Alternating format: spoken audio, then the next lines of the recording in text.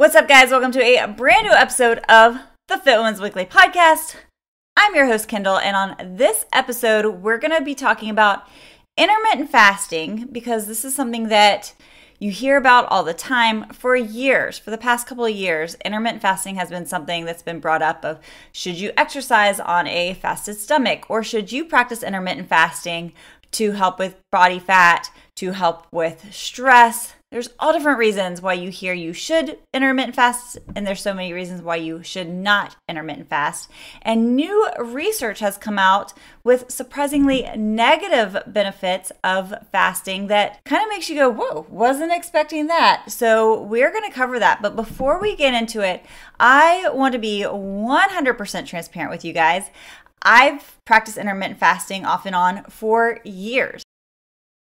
In fact, my typical regiment was that I'd have my first big meal around 11 to 12 each day. And I did this for years, probably starting around 2017, because at the time, intermittent fasting was become really mainstream in the fitness world, thinking that it would provide you with more mental clarity, it would provide you with more focus throughout the day, with more energy, and to help get rid of some stubborn body fat as well. So I figured, what the heck? I'd try it. So at first it was in- intentional, but then it actually became a little bit less intentional simply because my schedule at that time was pretty chaotic. I would leave my house at 5 a.m., but I wasn't getting home until about 8 p.m. during that time. And so we weren't eating dinner around till like 8:39. So for me to wake up at 5 a.m., I just wasn't hungry yet at that time. So I just wasn't thinking about food and it naturally just became part of my program, my daily habit of things.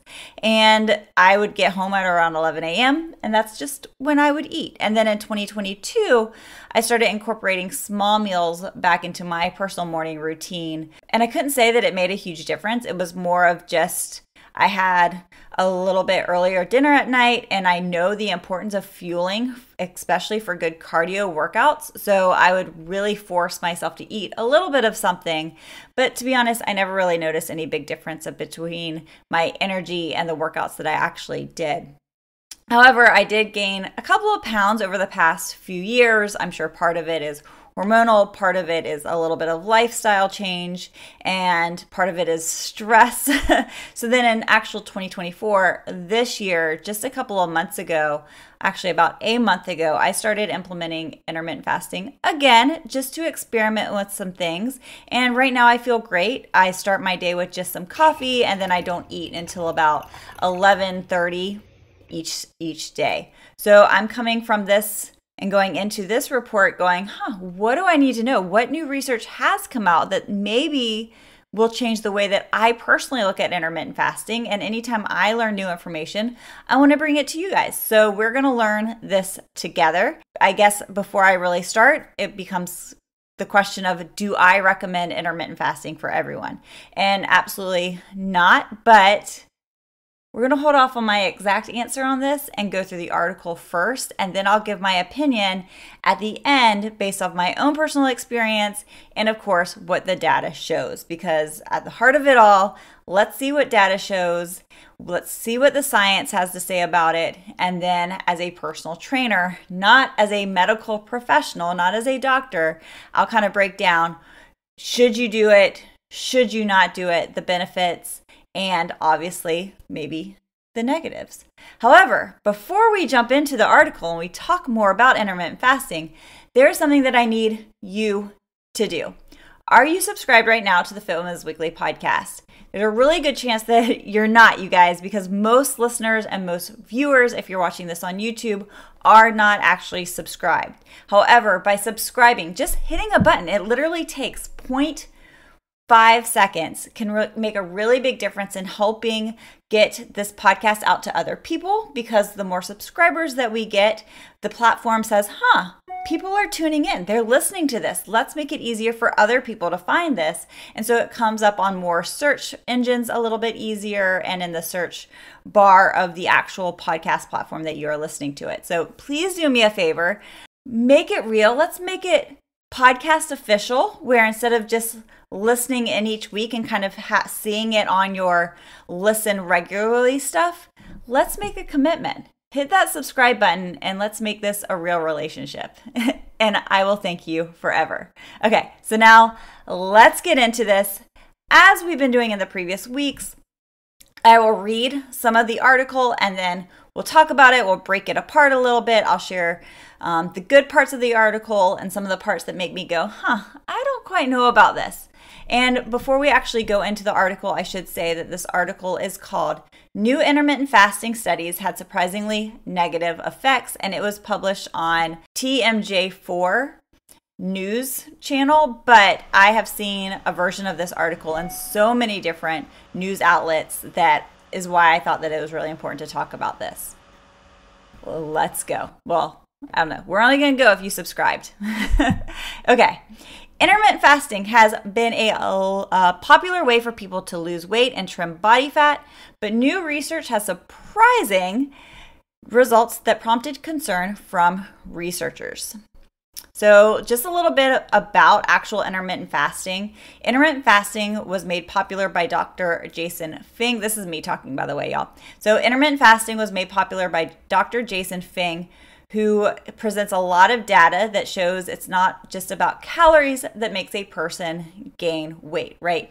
We are always thinking that everybody has this set metabolic rate, and if you overeat it, then you're going to gain weight. If you undereat your calories, you will lose weight. And of course, there is some truth to that, but in Dr. Fung's book, I've actually read most of it. I'm over half of the way through the obesity code. He talks more about how it's hormones, your hunger hormones like leptin, ghrelin, and insulin that really affect how somebody holds weight and loses weight, and the ability to be able to control those hormones through fasting and through staying away from processed carbs and most carbs in general is what he talks about in this book. This book can be a whole nother podcast. I just kind of want to highlight a little bit about the idea of intermittent fasting. Um, he highlights it a lot in the obesity code. So if you are somebody that likes to learn a lot about research, likes to see data, then definitely check this book out. It's taking a little bit longer to read simply because I read this at night before I go to bed and I'm exhausted, so I only get through a few pages at a time. But it is filled with a lot of information that just kind of makes you go, huh, this is really interesting. And it also makes you wonder how much of the data that we have and how much stuff is pushed to us is simply for economic gain versus actual scientific research. But again, this could be a topic for a whole nother podcast. If you're interested in that, let me know. But I wanted to bring this to the table because I feel like intermittent fasting, the idea of it, is something that we think has been around forever and ever. Where Dr. Jason Fung obviously the name Jason to me is a more newer name anyways. It's not that old a book. This wasn't written in like the 1920s. This is a doctor who is out now today and he's the one that really brought intermittent fasting to the light. Quote unquote the father of intermittent fasting. All right. So Let's continue on. Research presented Monday indicated that those who only ate for an eight hour window every day had a 91% higher risk of cardiovascular death compared to those who ate meals throughout the day or within a 6 to uh, 12 to 16 hour window. So first off make a little note of that that the ones that they studied was an 8 hour eating window. And the research was presented at the American Heart Association's Epidemiology and Prevention of Lifestyle and Cardiometabolic Scientific uh, sessions in 2024. Given that the increased body fat had been linked to a higher risk of cardiovascular death, the study's lead author noted his shock by the results. We were surprised to find that people who followed an eight hour time restricted eating schedule were more likely to die from cardiovascular disease, even though this type of diet has been popular due to its potential short term benefits. Our research clearly shows that compared with a typical eating time range of 12 to 16 hours per day, a shorter eating duration was not associated with living longer, says senior study author Victor Wenze Zhong. So, what I find really uh, interesting with this is that there have been studies done that shows that eating a low calorie diet has been associated with living a longer life for a lot of people. And really, at the heart of it, intermittent fasting, like most other diets, are simply a way to decrease your calories. It's not necessarily supposed to do that. Anytime you're studying intermittent fasting and people are trying to do it, whether it is to lose weight or for that mental clarity or that buzz and energy, it's the idea that even if you're eating in a smaller window, let's say you're only eating for eight hours per day versus that 12 to 16, that you're supposed to still eat the same amount of food, right? So it just means that you're supposed to eat bigger meals. But obviously, when you're eating bigger meals, you kind of start just to feel like blah, and it's hard to do. So you end up restricting your calories indirectly so you would think that if you're restricting your calories, you're naturally eating a lower calorie diet than you were before, then perhaps that would lead to a higher or a longer lifespan because of the low cal diets in the past. So, yeah, just kind of a little bit of food for thought on that. Um, and I guess they're pulling that 12 to 16 window out because if you're sleeping for eight hours a day, um, then yeah, so 24 hours minus eight is what? 16 hours. So there you go. The study included 20,000 adults in the US with an average age of 49 years, and it followed them for a median length of eight years. So, good little amount of time to actually do some research on each individual. Previous, previous research has suggested that time restricted eating can help lead to weight loss. And according to the analysis from researchers at the University of Chicago, intermittent fasting was just as effective as calorie counting for weight loss. So, is it because intermittent fasting is a way of cutting calories this is me talking, is it because intermittent fasting is a way of cutting calories that it's a lot harder to eat the same amount of food that you would in 14 hours if you only have six to eight hours, like we just talked about? Or is there something else to it, like Dr. Fung suggests, such as insulin control? So is it the calories? that are making people lose weight during intermittent fasting, or is it controlling the hunger hormones, having more control of your blood sugar, eating less processed foods. What is the actual um, this to then, right? Is it what's the way I'm trying to explain this? What's the purpose behind the weight loss? What is the actual mechanism behind all of this?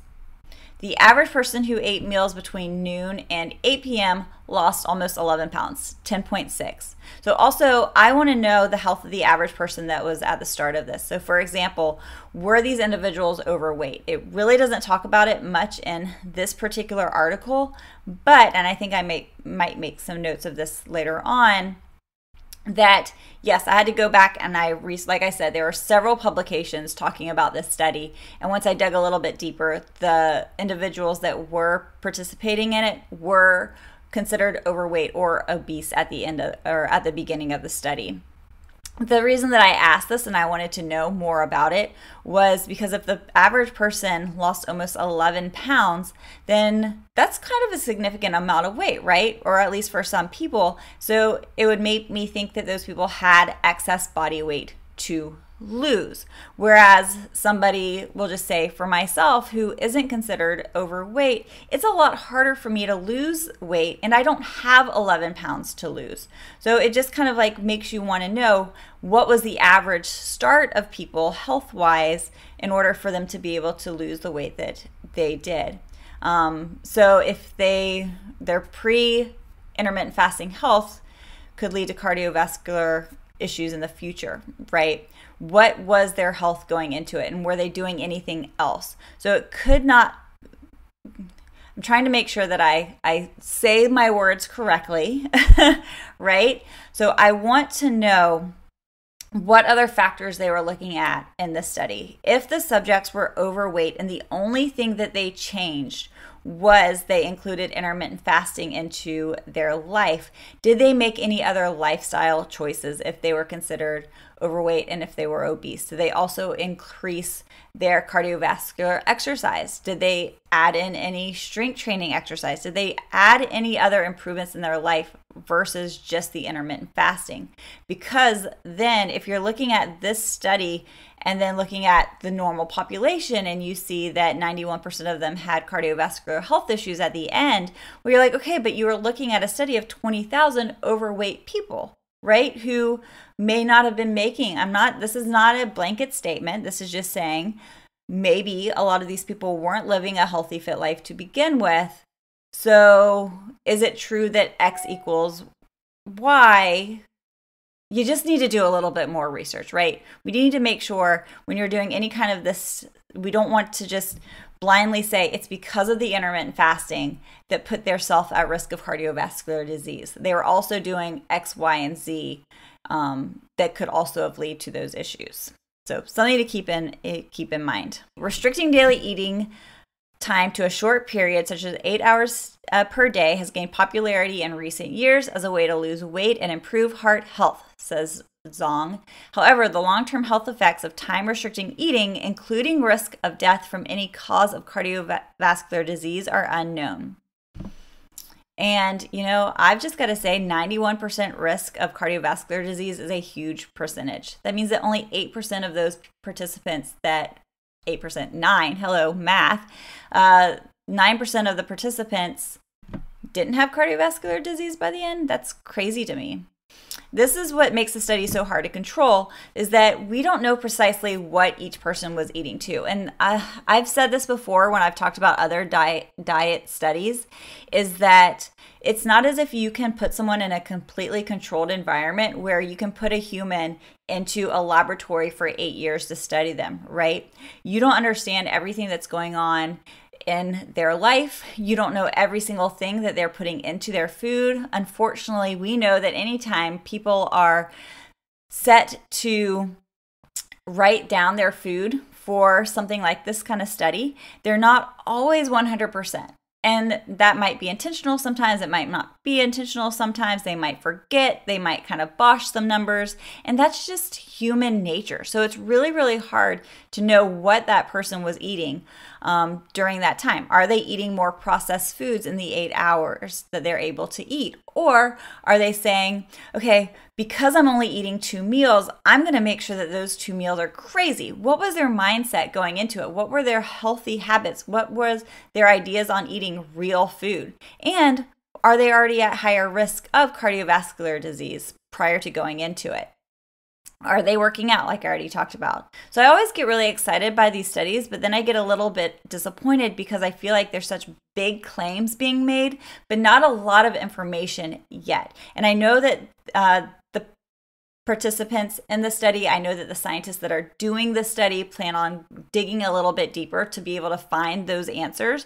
But I wish that and before just kind of fear mongering mongering fear mongering because i know a ton of people are definitely into intermittent fasting that they just gave the idea of like this is what raised our eyebrows but we don't know the answers yet right? Versus people going oh my god if i intermittent fast this article says that i'm going to die of cardiovascular disease before i should.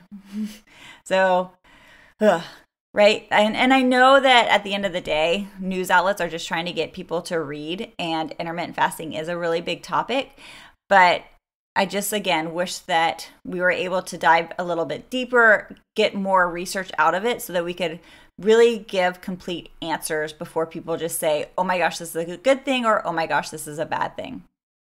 So overall, going back to the article, this uh, overall this study suggests that time-restricted eating may have short-term benefits like the weight loss, but long-term adverse effects. So would it be okay? This is me. Would it be okay if you were to intermittent fast for a limited amount of time just to basically gain a better understanding of hunger cues and then go back to three balanced meals? Or should intermittent fasting be avoided altogether? Just more things that this research needs to kind of dig through. And hopefully, these are the questions that come up to the researchers when they're looking over things as well. And when the study is presented in its entirety, it'll be interesting and helpful to learn more about the details of the analysis, said Christopher Gardner, professor of medicine at Stanford University. The University of Chicago says, and uh, this was a different study, that the following groups should consider not intermittent fasting. Those who are pregnant or lactating, absolutely agree. Children under 12, I think that most children, no matter the age, should not practice intermittent fasting. Those with a history of disordered eating, absolutely, because obviously it is just a way to restrict even more. Those with a body mass index or BMI of less than 18.5, sure. Shift workers, studies have shown that they may struggle with fasting regimens because of the shift work schedules. And I think we should do a whole podcast on shift workers. I actually would love to have someone who is a shift worker on this podcast to talk about their own personal habits and how they navigate that because my heart goes out to shift workers. I don't know how you guys do it. You don't get to follow a circadian rhythm, your eating habits are off it's just that's crazy to me. Shift workers are on a whole nother level. I want to give you guys a high five if you're a shift worker. And those who need to take medication with foods at regimented time obviously. So that's the actual end of the article. I want to break it a little bit down some more and I also have a couple other little ideas. First off, the question becomes should you try intermittent fasting? At the heart of it, that is up to you. Maybe, maybe not. You should absolutely talk to your doctor first to see what they have to say about it. But I do agree with the list of the article that we just covered about who should not be practicing intermittent fasting. And I also want to add one more, and that's people who do early morning workouts. I get asked all the time of should I eat before a morning workout? If you are new to working out or you're new to becoming a morning workout person, then yes, you should fuel your body before you work out. You're at a high risk for bonking, um, for or what's called running out of fuel. Your body uses up all of the glycogen and you get very dizzy, you can get sick. And it's a really crappy feeling, and you're not going to be able to get everything out of your workout. So, do you burn more body fat in a fasted state when it comes to cardio? You burn more of a percentage of body fat, but studies also show that you don't have as much energy in those workouts. So, you'd actually still burn more quote unquote body fat if you have a little bit of fuel in your system because total calories are more because you're able to give yourself more. So it all balances out to show that yes, you should work out with some food in your system. And I have seen so many clients when I trained people one on one that would come and be like, I'm just not hungry in the morning. And then they'd have to stop halfway through their workouts because they were dizzy, they were nauseous. I had to prop their feet up several times, and it's just not worth it. So even if you're having to just down a few bites of banana, every little bit can help. But don't go into it being like, oh, I heard that fasted cardio is better, so that's what I'm going to go for. No, fueled cardio is better. Cardio that you can actually complete the entire workout is going to be better for you. Now, going back to the study, how do I look at this? I think that a lot of research needs to come out on this. I do find it very, very interesting. And I absolutely do think that that's something that we need to consider in the future being like, okay, maybe fasted uh, habits, intermittent fasting is not the best way. And for most of us, it is not going to be beneficial. It is just another way of cutting calories, regimenting our diet, and making things more complicated than it needs to be. At the heart of it, we need to just teach our bodies a healthy system for fueling ourselves. You should be able to listen to your hunger cues. When you're hungry, eat and eat enough to fill you up to your next meal right? For some people, that might mean waking up on a Saturday and not being hungry till 10 or 11. And that's okay too. But don't do it simply because you are trying to necessarily intermittent fast. What I do think should be done a little bit more in this study is this showed an eight hour window, right? So it was 16 hours of not eating and eight hours of eating. But there are so many different types of of intermittent fasting.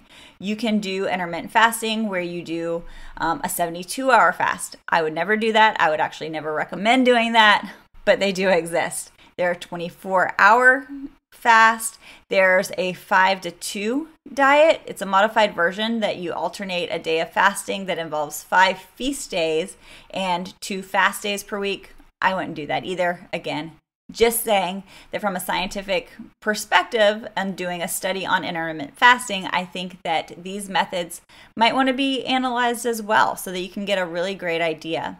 Um, and then there is alternate day fasting, which typically involves a feast day alternated with a fast day where you eat 500 calories on your fast days, which is kind of interesting because it's a fast day, but you're actually able to eat. So it's more of just a really low calorie day. And then there's time restricted eating where um, you can eat for four to 10 hours and then no eating for the rest of the time. The other thing that I want to talk about is when it comes to women's health, because that's what we focus on most of the time here on Fit Women's Weekly, is women's hormones are different, right? Our sex hormones are different. Our hunger hormones are a little bit different than men in the way that we process it because of estrogen. And so, a lot of research has shown that women should not be fasting for over 14 hours at a time because it can throw us out of whack a little bit and actually be more harmful for us than good. It can affect our cycle, especially if we are in the premenopausal era of our life. So that is again something else to take in consideration. And I never fast for over. I stop eating at around 8 to 8.30 and then i uh, start eating again like i said at around 11.30 so however many hours is that that's right at about 14 hours i try not to go longer than that but just again something else to take into consideration and i've talked about fasting from the women's perspective and for hormone health in previous episodes before. So if you want to learn more about that, let me know and I can link it up. But I wanted to break this article down a little bit more, put out another idea, and basically at the end of the day, here's what I say. If you are looking for intermittent fasting as the miracle way to lose weight, then I'm going to let you in on a secret. There is no miracle way to lose weight. It does come down to tracking your nutrition, making sure that you're fueling your body with the appropriate amounts of protein, carbs, and fats necessary for you, and cutting your calories to go down into a deficit. Intermittent fasting is not going to be the all be cure, right? The miracle cure to try to lose those last five, ten pounds, or if you have something more like ambitious that you're trying to work for, you're going to be much better off creating a healthier habit of eating throughout the day and tracking your food.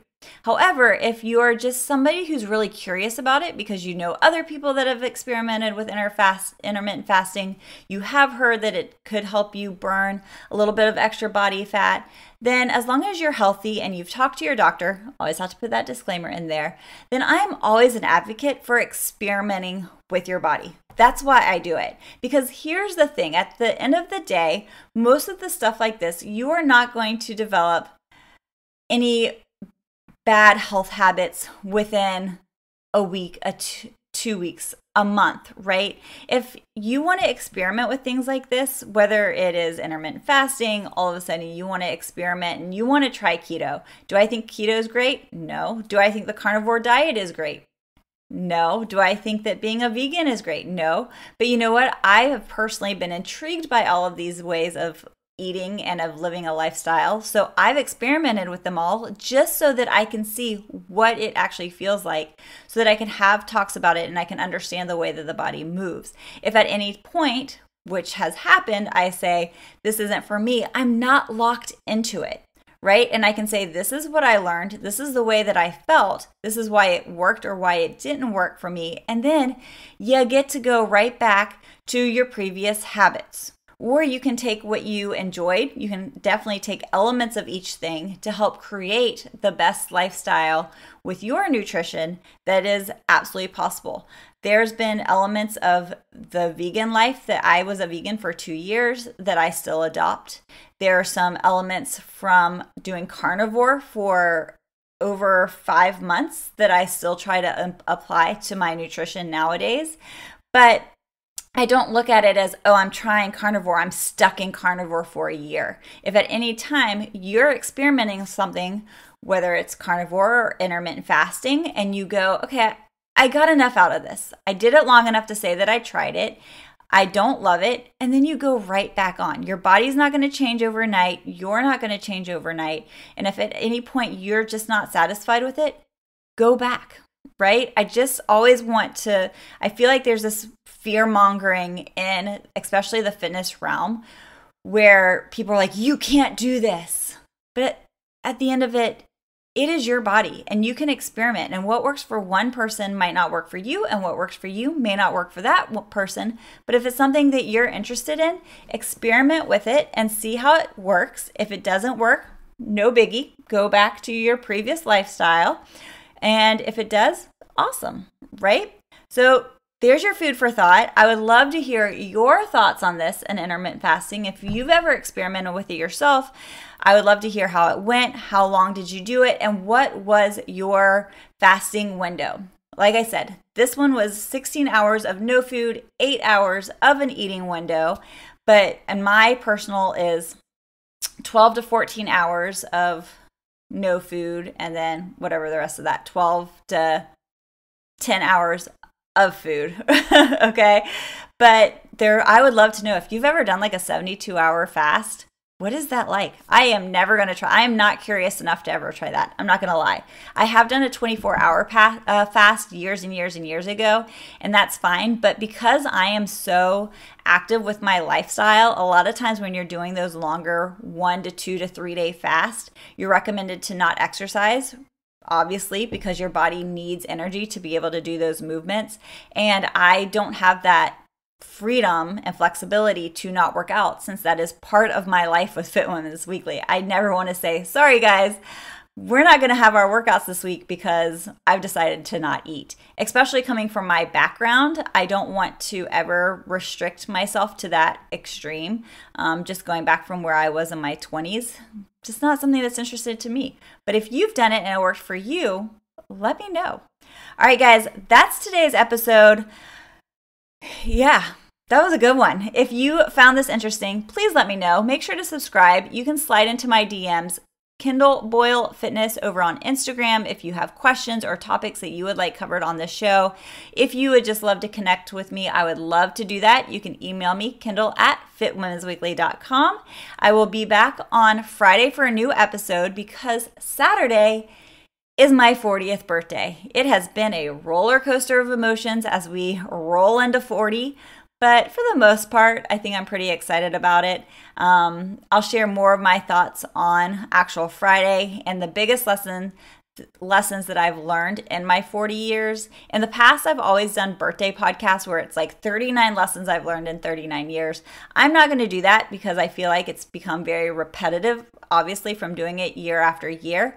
But I am going to share some of just the biggest life lessons that I've learned in becoming 40 and also what makes why is it such a mental F? right? Well, Why is it hard so hard on me mentally to accept 40 and why has it caused so many like tears but also the excitement with it? I don't know. It's going to be a very big yin and yang. And then the final thing that i will share with you guys is i did an interval workout. You guys know last week i talked about well if you didn't listen to last week's episode you might not know. So go listen to last week's episode too but I have implemented on Tuesdays doing um, interval speed work in a way to help me get back into a little speedier runs. So if you're tired, if you're a runner like me, or you get out there and you're just trying to run because you're trying to inc- increase your cardio, if you're tired of never getting faster, which has been me for the past couple of years because I haven't worked on that, you're not going to get faster simply by saying, I want to get faster. If you're out there running just the same pace and you're doing these long runs time after time again, you're going to maintain that same pace over and over. You're never going to get any faster. So, one way in order to get faster is to start making your legs work and start turning them over, your feet, your legs, moving faster. And I'm doing that with speed intervals. So, last week I did a one, two, three, four, five, four, three, two, one speed interval ladder. Today I did a two minute speed run followed by a one minute recovery walk for 19 rounds. So for two minutes, I ran my little heart out as fast as I could. Focus. I made myself run faster than I would if I were just out for a normal um, steady state run. So those two minutes, I really pushed it. And then that one minute recovery run was there. And then I would do that again. And I went back and forth for 19 rounds. It ended up being um, right at, I think, about 52 minutes of interval work.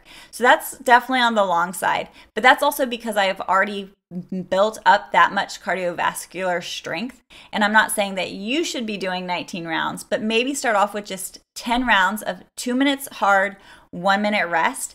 And then you're just teaching your legs to move faster. And then that fast pace will work its way over into your steady state runs too. So before you know it, you actually will start to run a little bit faster. And finally, because this girl's been running the same pace now for like three years. um, if not, actually have even decreased my speeds over the past couple years. And I'm excited just to get back at it. I'm starting 40, y'all, being the fittest and the healthiest that I can possibly be. And that means hitting new goals and pushing myself. I'm not going to start stop pushing myself just because I'm a, into a new decade. It's not going to happen. I've had people ask me before, legitimate people in my life, family members ask, How long are you going to keep doing this? And the answer is until I can't do it anymore. And I'm doing this so that I can continue to live a life and never settle because, oh, I'm 40, I should slow down. I will slow down when my body tells me to slow down, but right now it's telling me I can do the things that I can do and I'm not giving up. So don't give up. Hopefully that helps. All right, you guys, go have a great day. Mwah. Thanks for hanging out. Hit the like, hit the subscribe. Bye.